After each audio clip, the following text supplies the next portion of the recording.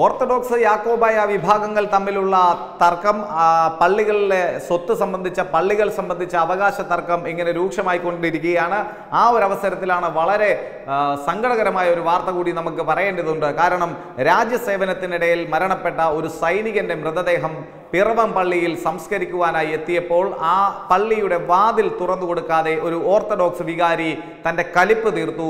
എന്റെ ചേട്ടായി രാജ്യം കാത്ത ആളാണ്.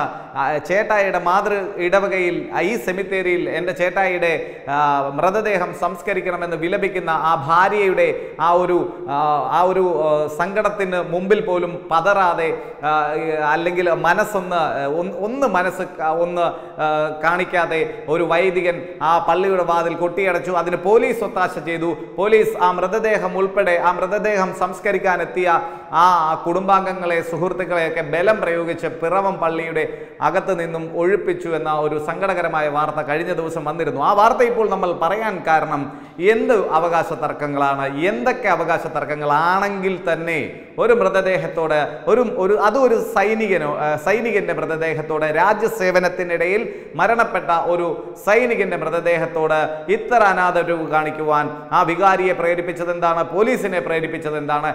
ഏത് സുപ്രീം കോടതി വിധി ഉണ്ടായിക്കോട്ടെ? വിധി എല്ലാം ഉണ്ടാകും. ഒരു സംശയവും അതിനകത്ത് വേണ്ട. എന്ത് വിധികളും എല്ലാ വിധികളും ഒരേപോലെ നടപ്പിലാക്കാൻ സാധിക്കുമോ?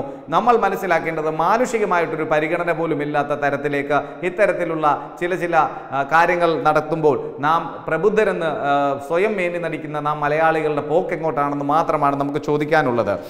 കഴിഞ്ഞ ശനിയാഴ്ച പുലർച്ചെ രാജസ്ഥാനിലെ ബാർമീറിൽ സൈനിക ട്രക്കും ബസ്സും കൂട്ടിയിടിച്ചുണ്ടായ അപകടത്തിൽ മരിച്ച ബി ജവാൻ കക്കാട് കൈപ്പറ്റൂർ ബിനോയി എന്ന ആളുടെ മൃതദേഹം ആ ധീര ജവാന്റെ മൃതദേഹം യാക്കോബായ ഓർത്തഡോക്സ് വിഭാഗങ്ങൾ തമ്മിൽ തർക്കം നിലനിൽക്കുന്ന പിറവം വലിയ പള്ളിയിൽ തിങ്കളാഴ്ച സംസ്കാരത്തിന് എത്തിച്ചപ്പോൾ പോലീസ് തടഞ്ഞതാണ് വിവാദമായിരിക്കുന്നത് വൻ വിവാദമായിരിക്കുന്നു.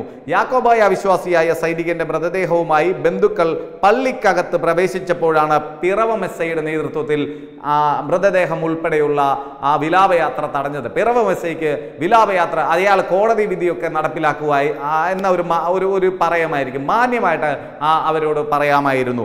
എന്റെ ചേട്ടാ ഈ രാജ്യം കാത്തവനാണ് എന്നുറക്ക നിലവിളിച്ച ഭാര്യ ഷിജിയുടെ കരച്ചിലിനും പോലീസിനെ പിന്തിരിപ്പിക്കാനായില്ല. പള്ളിയിൽ തടിച്ചുകൂടിയ നൂറുകണക്കിന് ആളുകൾ പ്രതിഷേധ സ്വരം ഉയർത്തി മൃതദേഹവുമായി പള്ളിക്കകത്ത് പ്രവേശിച്ചെങ്കിലും ഉടൻ തന്നെ പോലീസ് ബലം പ്രയോഗിച്ച് അവരെ തിരിച്ചിറക്കി എന്ന ഒരു സങ്കടകരമായ വാർത്ത. സൈനികനായ ഭർത്താവിന്റെ മൃതദേഹത്തോട് അനാദരവ് കാണിച്ച പിറവ മെസ്സയുൾപ്പെടെയുള്ള പോലീസ് ഉദ്യോഗസ്ഥർക്കെതിരെ നടപടി ആവശ്യപ്പെട്ട് തിങ്കളാഴ്ച വൈകിട്ട് തന്നെ ഭാര്യ ഷിജി ബിനോയുടെ ഭാര്യ ഷിജി രാഷ്ട്രപതിക്കും പ്രധാനമന്ത്രിക്കും ഉൾപ്പെടെ പരാതി നൽകി. പിറവ് എസ് ഐ അങ്ങനെയൊന്നും ഈ കേസിൽ നിന്ന് ഊരിപ്പോകുമെന്ന് കരുതേണ്ടതില്ല. താങ്കൾക്ക് പണി വരുന്നുണ്ട്. താങ്കൾ കോടതി വിധിയൊക്കെയാണ് നടപ്പിലാക്കാൻ ശ്രമിച്ചത്. പക്ഷേ ഒരു മൃതദേഹത്തോട് അതും ഒരു രാജ്യം കാത്ത ഒരു സൈനികന്റെ മൃതദേഹത്തോട് താങ്കളുടെ ആ മർക്കട മുഷ്ടി കാണിക്കേണ്ട യാതൊരു കാര്യവുമില്ലായിരുന്നു. നേരത്തെ യാക്കോബായ സഭയുടെ കീഴിലുള്ള കക്കാട് ചാപ്പലിൽ സംസാര സംസ്കാര ശുശ്രൂഷയും സൈനിക ബഹുമതികളും നൽകിയാണ് സംസ്കാരത്തിനായി മൃതദേഹം ഇടവക ദേവാലയത്തിൽ എത്തിച്ചത്. ഓർത്തഡോക്സുകാർ പറയുന്നു അവരുടെ പള്ളിയാണെന്ന്. യാക്കോബായക്കാർ പറയുന്നു അവരുടെ പള്ളിയാണെന്ന്. പക്ഷേ ഓർത്തഡോക്സ് ആയാലും യാക്കോബായ ആയാലും ഒരു മൃതദേഹം മനുഷ്യനല്ലേ? മരിച്ചു കഴിഞ്ഞാൽ മരിച്ച് മണ്ണോടടിയാൻ പോകുന്ന ആ മൃതദേഹത്തോടു കൂടി എന്തിനാണ് ഒരു അനാദരവ് കാണിക്കുന്നത്? ഇങ്ങനെയൊക്കെ കാണിച്ചിട്ട് നിങ്ങൾ എന്ന പേക്കൂത്താണ് കാണിക്കുന്നത്. ഈ ഓർത്തഡോക്സുകാരും യാക്കോബായക്കാരും നിങ്ങൾ എന്താ ഇതൊക്കെ കണ്ടുകൊണ്ടിരിക്കുന്ന ആളുകൾക്ക് മനസ്സിലാകുന്നില്ല. നിങ്ങൾ ഈ പള്ളിയുടെ പേരിൽ കർത്താവായിട്ടുള്ള യേശു ക്രിസ്തു പറഞ്ഞിട്ടുണ്ടോ എന്തെങ്കിലും പിടിച്ചടക്കാനൊക്കെ അങ്ങോട്ടും ഇങ്ങോട്ടും തല്ലുണ്ടാക്കാനൊക്കെ? ഇത് വളരെ മ്ലേച്ഛമാണ് ഓർത്തഡോക്സുകാരാ യാക്കോബായക്കാരാ. നിങ്ങൾ എങ്ങനെയൊന്നും കാട്ടരുത്. കാരണം നിങ്ങൾ സമൂഹത്തിന് മാതൃകയാകേണ്ട വ്യക്തികളല്ലേ ആത്മീയ ആചാര്യന്മാരൊക്കെ? വെറുതെ എന്താ ചീപ്പ് പബ്ലിസിറ്റിക്ക് വേണ്ടി സ്വത്തിന് വേണ്ടി അധികാരത്തിന് വേണ്ടി സമ്പത്തിന് വേണ്ടി ഈ തെരുവ് നായ്ക്കൾ അതിനേക്കാട്ടിലും മോശമായ രീതി കടിപിടി കൂടുന്ന ഈ ഒരു അവസ്ഥയൊക്കെ നിർത്തണം. കാരണം യാക്കോബായ വിശ്വാസികളുടെ മൃതദേഹം സംസ്കരിക്കാനെത്തുമ്പോൾ പള്ളിയുടെ വാതിലുകൾ തുറക്കാറില്ലെന്ന് അവിടുത്തെ പള്ളി വികാരി ഫാദർ വർഗീസ് പനച്ചിയിൽ പനിച്ചയിൽ പറഞ്ഞു പറഞ്ഞിരിക്കുന്നു.